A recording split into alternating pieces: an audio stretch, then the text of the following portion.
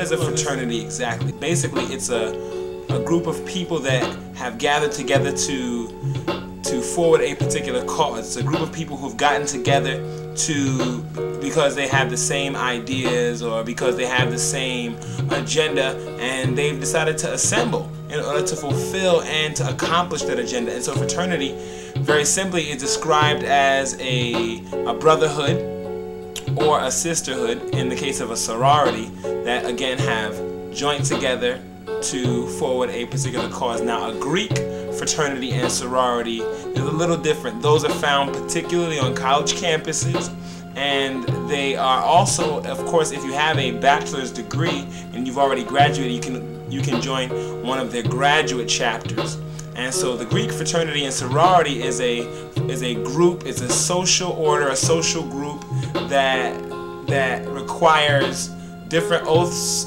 or a different initiation process in order to, for you to enter. And the whole focus again is to supposedly aid mankind and to strengthen the community to strengthen the person to empower the person to become a better person. And they do that by by teaching this person different aspects of society and different aspects of life in order to get that person to mature and to grow and to become influential in their society. And the reason why they're called Greek is because they have adopted certain aspects of Greek, Egyptian, and Roman culture and philosophy in order to fulfill that goal that they believe is, is, is an ultimate goal. God does care about who we hang with. God does care about the associations that we become a part of. And so this focus, the focus of this is to assess Greek lettered organizations, Greek social orders, to examine them in the light of the scriptures, which we hold as the Word of God. We hold the, the scriptures as the inspired Word of God according to 2 Timothy chapter 3, verse 16. We believe that all scripture is given by inspiration of God. And that that's what's really going to define for us what this Greek order is, what the Greek orders are. And we're going to be looking at some of their writings and we're going to look at some of their works and we're going to compare those works with the Word of God and biblical Christianity to see if it lines up and if it matches what biblical Christianity is supposed to be. Uh, now, it has been documented historically and, and written within their own literature that Greek lettered organizations are offspring or products of higher fraternal orders. So they didn't just pop up.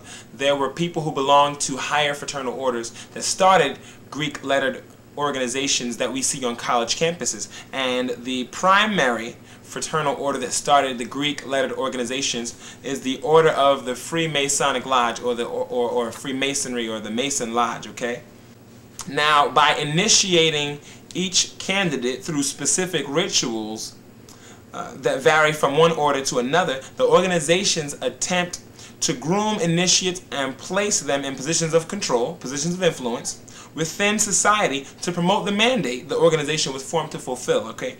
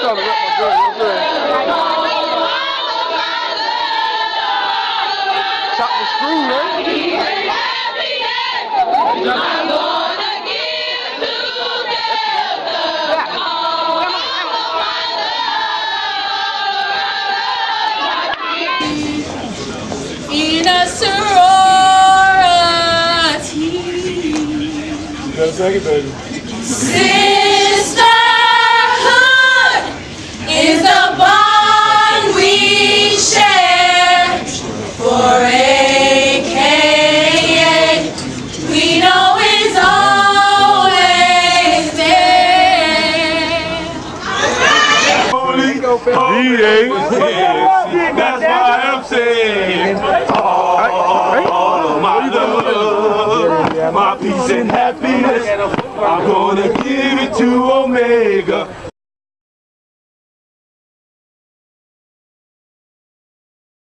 Now, concerning the very first thing that we're going to address, we're going to address idolatry. Okay, okay. Now, the definition the definition of idolatry is the devotion, service, agreement with, or worship rendered or given to a false god or material image. Right? So idolatry is the worship of another god, is worship to a false god other than the God of heaven and earth.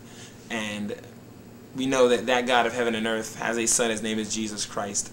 And so we want to assess if Greek orders, if they swear or if they promote or honor or revere or respect or give any type of credence to a false God other than, a God other than the true God, the God of the Bible the God of our Lord and Savior Jesus Christ. Now, according to the National Pan-Hellenic Council, which is the governing and the coordinating body of the nine historically black fraternities and sororities, the following organizations are aligned in a in a concept that was written out by the council, by a member of the council, and that is posted on the internet. The following organizations are associated with these particular pagan gods. Phi Beta Sigma is associated with Horus, the Egyptian falcon god. Alpha Kappa Alpha is associated with Ketesh, a Semitic nature goddess worshipped in Egypt or in the Book of the Dead, which is Sekhmet. Alpha Phi Alpha, it's associated with the Sphinx, the guardian of the tomb or pyramid. Then we have Delta Sigma Theta, which is associated with Minerva or Isis, as she's also or or, or, or Athena, as she's called, which is the elephantine goddess of the Nile floods and fertility. Right. Then we have Kappa Alpha Psi, which is associated with Thoth, which is a leader or the ibis god of wisdom, writing and the moon. Uh, then we have Zeta Phi Beta. Zeta Phi Beta is associated with Bastet, which is also known as the devouring lady, the cat goddess of the home and sunlight. Then we have Sigma Gamma Rho, which is associated with Mot. Mot. Then we have Omega Psi Phi, which is associated with Anubis, or the royal child, the jackal god. And we see if you looked at Omega Psi Phi, if you listen to the, the one pertaining to Omega Psi Phi and Delta Sigma Theta, we see that as Minerva is considered the elephantine god in a particular culture, we see that throughout throughout Greek culture, we see elephants, especially pertaining to the Delta Sigma Theta. We see different animals that associate with different fraternities and sororities. Deltas, they have elephants, and then of course we have Omega Psi Phi, and they have dogs. And those are the gods that those particular organizations are associated with. Now, in the book of Exodus, the 20th chapter, God outlines the Ten Commandments, and the very first two commandments, the, fir the, the first couple commandments are concerning idolatry. Now, I want us to read that. Exodus chapter 20. And again, we have to use the Bible as our ruler for right and wrong. And the very first two commandments read this way.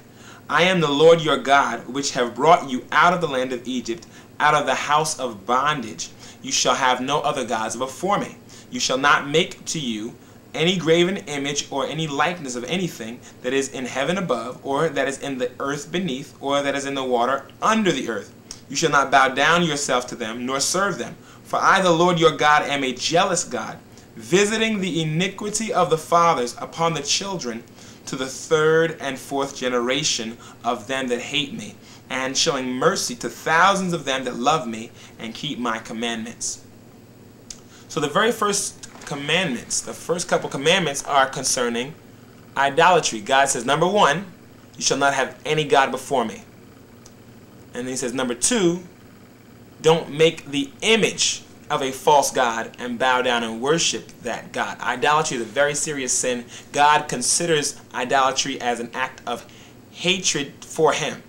That's why Jesus said that you cannot serve two masters. You will either love one and hate the other, or you will cling to one and despise the other. Jesus said that you cannot serve two masters. And so, concerning what we just read pertaining to the National Panhellenic Council, we see just from the beginning that these particular organizations, according to their national governing body, the National Panhellenic Council, it associates them outright with false gods. Okay? Then, I want to read something that was written in the Grand Chapter Candidate Syllabus of Delta Sigma Theta in 1990, and it says this Our founders were well aware of the need to transfuse the ideals of Greek moral virtues with later concepts of brotherhood and love. So we see the Greek fraternities and sororities admitting that their intention was to transfuse different cultures, and we know that the Greeks worshipped various gods. But God said in Deuteronomy 18, verse 9, When thou art come into the land which the Lord your God gives you, you shall not learn to do after the abomination of those nations. So God tells us, and that term abomination in this case specifically meant idolatry and the wicked actions of those people. Now, any organization that honors a false God other than the Father of our Lord Jesus Christ is a profane one, and, and, and it is trying to thrust us away from the Lord our God. And so we have to steer clear of any organization that promotes a false God or promotes another God. If it promotes a God other than the God of our Lord and Savior Jesus Christ, it's a dangerous organization. Delta Sigma Theta, which is the largest black Greek lettered sorority in the world, honors the Roman goddess Minerva. And an image of the female deity is on the very crest and she or shield of the sorority. And they say in their grand chapter membership intake program book, they say this is what the, the Delta Sigma Theta sorority says. That is why Minerva, the goddess of wisdom, is our sorority mentor. So everybody who joins that sorority comes under the shadow of Minerva, which is a false god. And the Bible calls false gods, says that they're not really gods at all, that they're really unclean spirits that are masquerading as gods. But we'll get to that later. Alpha Kappa Alpha, aka